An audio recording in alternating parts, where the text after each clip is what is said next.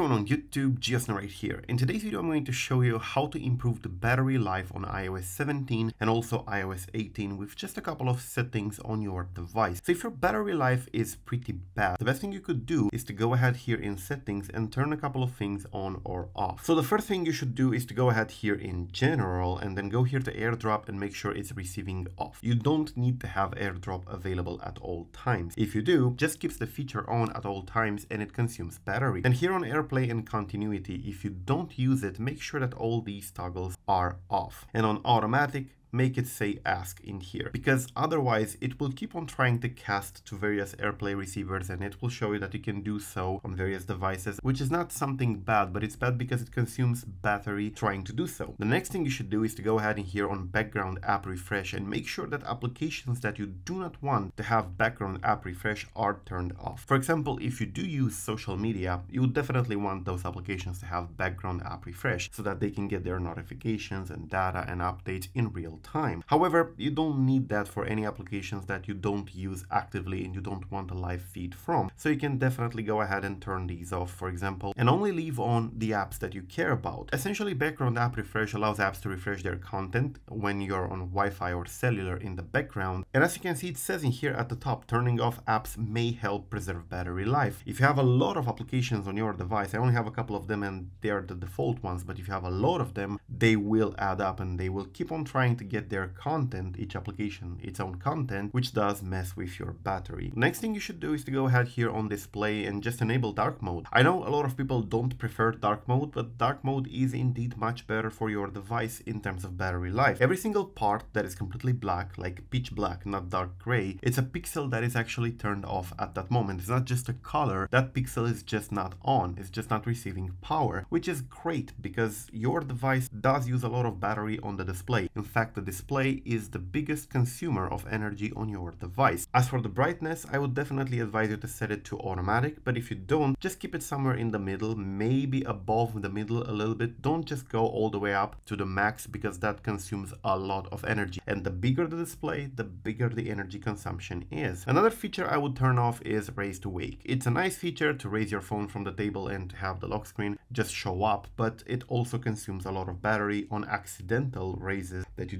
intend. Also make sure that the auto lock is set to as little as possible, like 30 seconds or one minute, because otherwise your phone remains active and doesn't lock for a lot more time than it needs to. If you don't have activity on it, it should lock in a couple of seconds to preserve battery life, especially if your battery life is degraded. And the last thing that I would definitely advise you to do is to go here to Siri, on talk to Siri, and make sure that instead of Siri or Hey Siri, it's set to off. Yes, this does mean that you will have to trigger Siri manually. It will not respond to Hey Siri, but in order to respond Hey Siri, it consumes a lot of battery just listening and just waiting. So if battery is your concern, definitely go ahead and do that. And these tips will definitely help you improve the battery life. But you should know that iOS 18 itself is the problem. If you have poor battery life, the fact that you're running iOS 18 beta, which is in beta at the moment, is one of the issues. Beta software is always much less stable than standard releases, so you should definitely go ahead and downgrade to iOS 17 if battery life is indeed unbearable on your device. Thank you for watching, I am GeoSnow. Till the next time, subscribe to stay updated and peace out.